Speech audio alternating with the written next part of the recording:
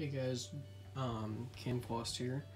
Just wanted to do a little um, overview of my thoughts of this.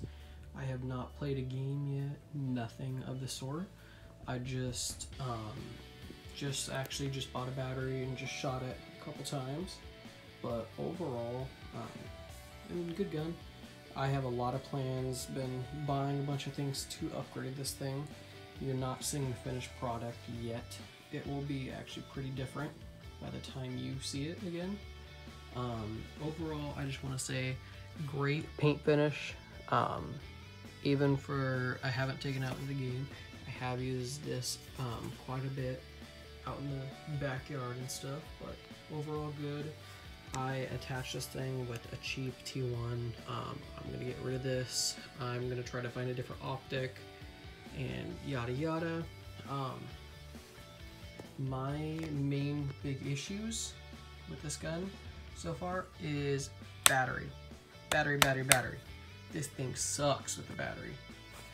There's just so little room, and it doesn't suck necessarily. It's just, it's very, very cramped in here. Um, and the battery that I bought was the Titan 3000 mAh 7.4. Um, I'm probably going to get a 11.1 soon, but what I bought was I bought the extender for this. The only problem is it's probably not going to be coming anytime soon. Um, overall, stock is good.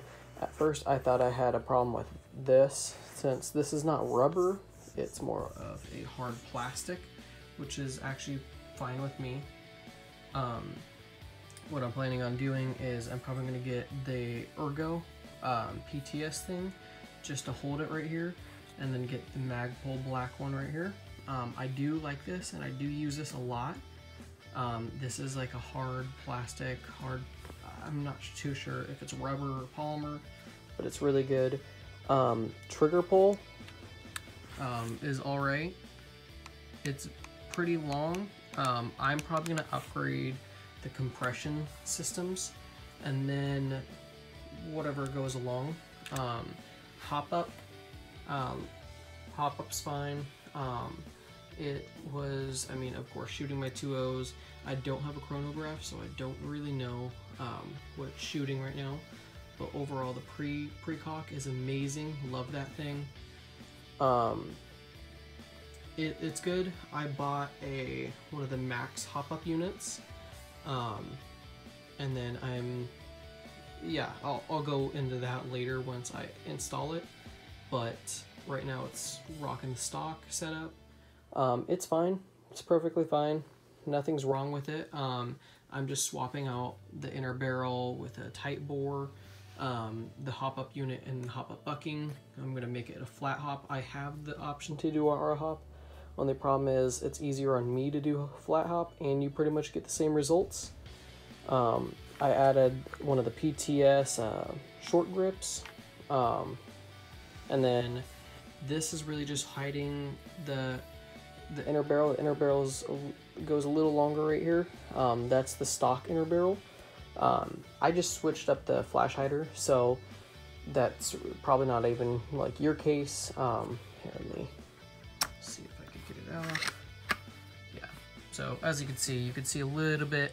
It's not bad but um, my my changes, what I'm to do is I've already bought the PTS Centurion M-Lock, which is a 9.5 inch. Um, so that's to be changed out.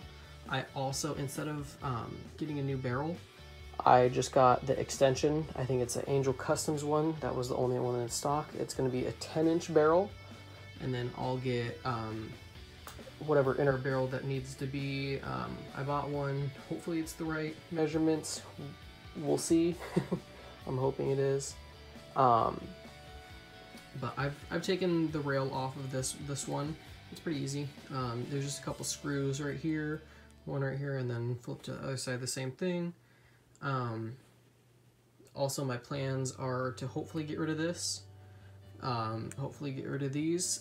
They I do like them for the look.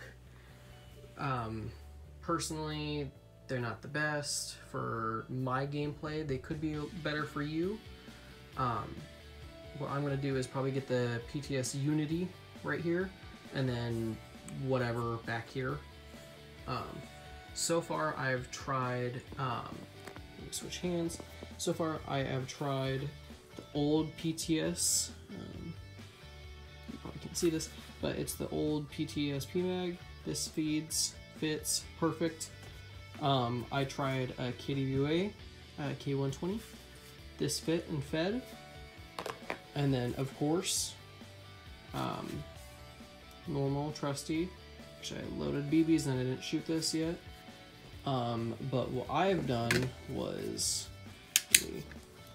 I've, um, I did a trade, which, um, not going into that trade um, right now, but I bought this little conversion thing, and it does sit in here. Um, it is a little snug. It's better with the mag. There we go. And it just turns it into an MP5. I did a little custom um, paint job to this, like a worn paint job. So it's a little hard with one hand. And then, yep. So this is what it looks like with this. I like the stick mag like that. Um, I like the straight mag, I mean. Um, I do, I did just get the MP5. Um, I think this is a SEMA or SIMA, however you call it. This one's a little finicky, more finicky. Uh, clicking, perfect. There is wobble. Um, uh, like for this one, I did a little electrical tape, and that fixed the job.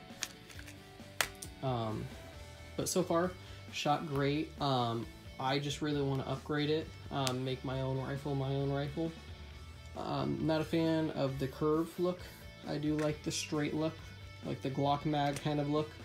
Um, my personal opinion. Um, grip, grip is, I mean, pretty fine.